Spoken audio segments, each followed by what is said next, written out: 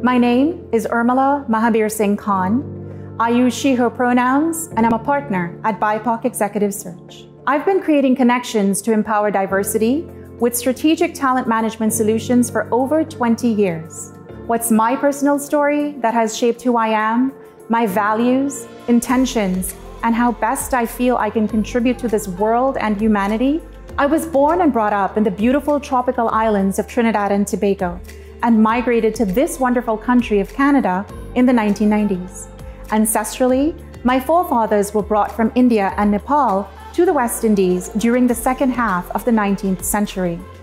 I share this bit of personal history because at our core, no matter where we may journey from or to, we are all still deeply connected to our own unique and special, rich histories, cultures, traditions, and identity.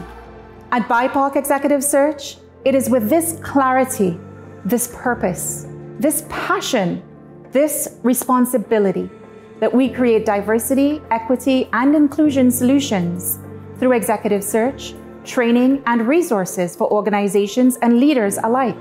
Innovative solutions that impact the growth and success of businesses and the global economy, that reflect and maximize the depth and breadth of diverse talent creating welcoming, barrier free spaces of belonging for equity deserving communities, while enriching and uplifting lives for generations to come, creating authentic, measured, sustainable change, true unity in diversity.